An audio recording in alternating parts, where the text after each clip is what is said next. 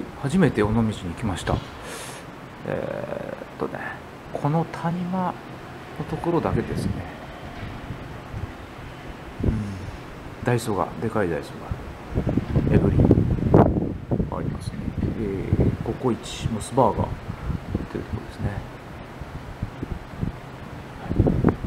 はい、じゃあ港の方に行きました。どうだろう？そこ曲がると？お砂が置いて入っていいのかな？大丈夫だろう。大型船が航行するのが車から見えましたね。砂の山。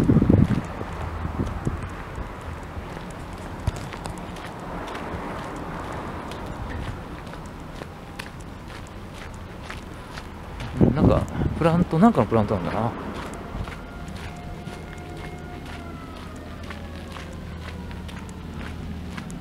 お港町ですね。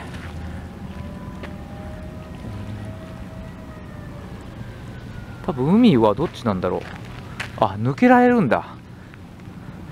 反対が島なんですね。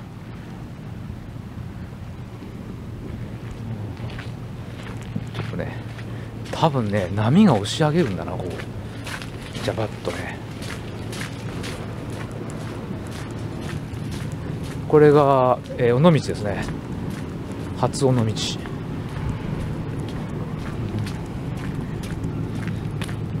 砂船という砂を運んでくるんですねここからね。ね一見護衛艦みたいな感じですけど。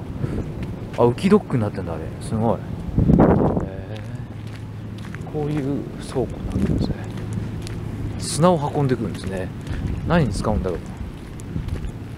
当然建設用の資材なんですよね。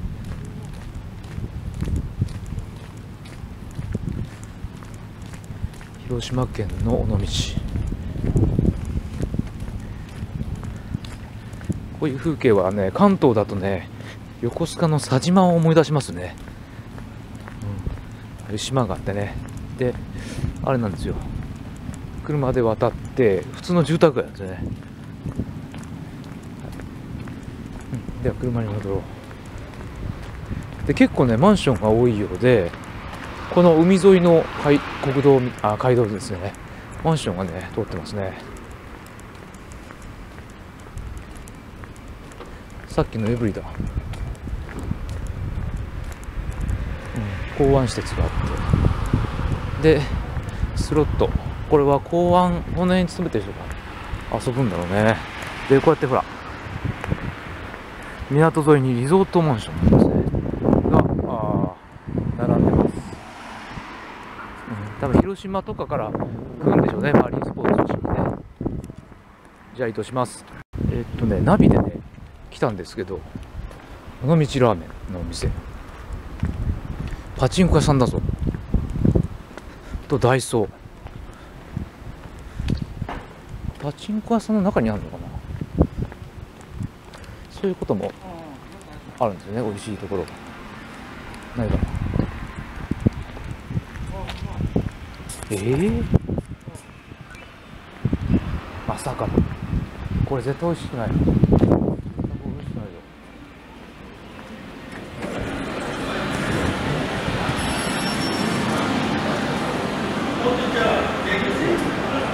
これだ。これ本当に名店かこれ。ああ車来た。これ名店か？突入してみよう。しかもちょっと高いし。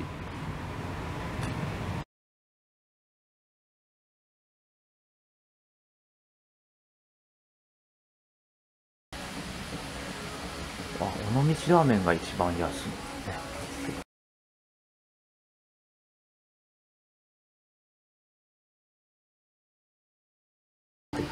ラーメンです。初めて食べます。ネギが多いですね。ちゃんとチャーシューも乗ってて美味しそうです。じゃあいただきます。あまあうまかったです。500円なんですね。でチャーシューもシナチクもネギもたっぷり入ってます。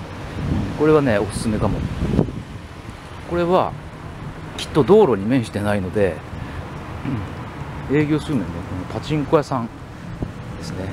これ知る人ぞ知る世界ですね。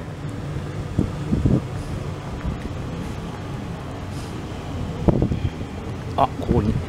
アスファルトでできた。減速帯がある。こんな感じなんですね、はい、で混んでないです。多分地元の人はあんまり食べないんだろうな、うん、えー、っとねあっさりしてて醤油ラーメンですね。でえー、っとね揚げ玉が入ってるのが特徴なんですね。尾道ねはい。美味しかったです。では初尾道では福山に戻ります。